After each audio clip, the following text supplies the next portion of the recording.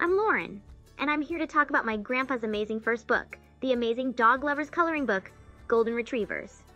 And as a special treat, I get to give you a sneak peek into how my grandpa creates these books using AI. You know, my grandpa's always looking for new technology to use in his work.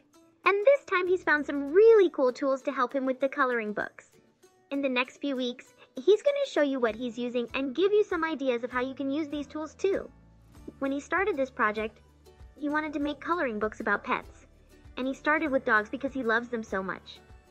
And since he's not an artist, he needed a little help to create the pages. That's where Midjourney comes in. It's a text to image generator that helps him create the coloring book pages. But you have to be careful with what you put in as a prompt because if it's not clear, you might get a strange image. I will show you the steps Grandpa went through when he was trying to create a character to represent me, Lauren, his youngest granddaughter. So we are in Midjourney now in something called a Discord server. Not sure what that is. Grandpa entered the following prompt. Imagine a 3D beautiful, of course, girl child character facing camera, full body, no background, full HD color. Grandpa says he has Midjourney set up to produce four images at once, and here they are. I told him I think they have weird eyes, so he changed his prompt. This time, Grandpa entered. Imagine a 3D Pixar. I love Pixar. Beautiful girl child character facing camera. Full body, no background, full HD color. Grandpa and I agree they are better, but come on, Grandpa, I am a blonde. He tries another prompt. Imagine a 3D Pixar, beautiful blonde. Better.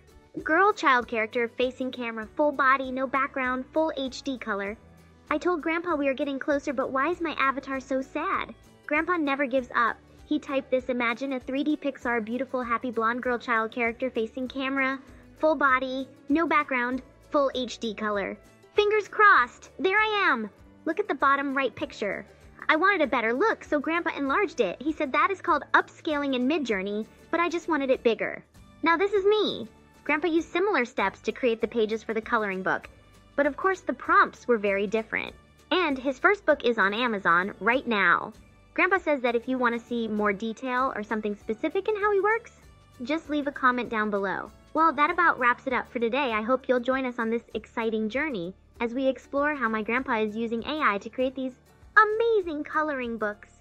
And don't forget to like and subscribe so you can see the awesome coloring books and how grandpa used the AI tools for all the books and videos. See you soon!